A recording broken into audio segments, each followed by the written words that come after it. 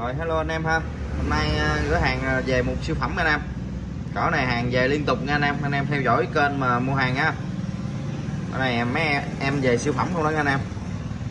Con này thì phải nói là đẳng cấp rồi. Một con Estin 021 nha anh em. 021 thì nó xài chung đồ với thằng 250 nha anh em. Nhưng mà 250 là hàng liên danh nha.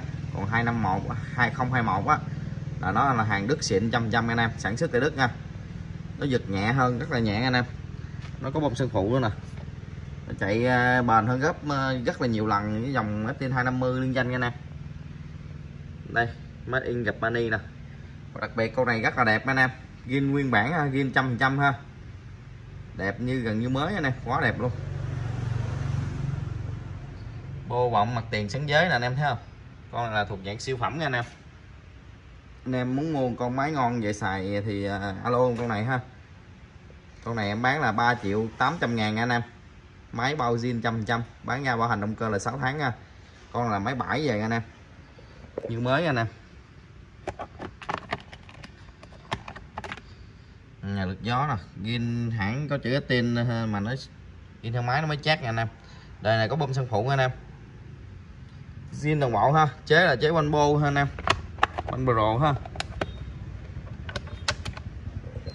Máy cực kỳ đẹp ha. Chắc này cũng hơi chiều chiều nên nó quay nó không được ờ, đẹp cho lắm nha anh em nè hai con ốc uh, chân lam nè anh em zin theo máy nè hai con ốc chân lam zin theo máy nè ha vàng nhính luôn ha anh em nó màu vàng nha chứ không phải là như mấy cái hãng khác anh em lam nè anh em lam này cái lam bốn tấc rưỡi anh em lam có tên zin theo máy nè sơn zin theo máy nè. Con này zin theo máy trăm trăm nha. Rồi, cầm lên nổ nhanh cái.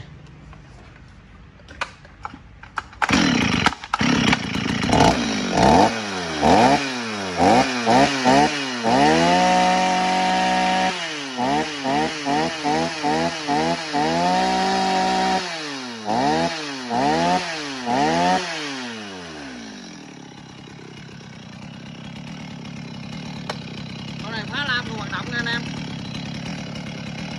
canh tay là siêu chuẩn nha anh em.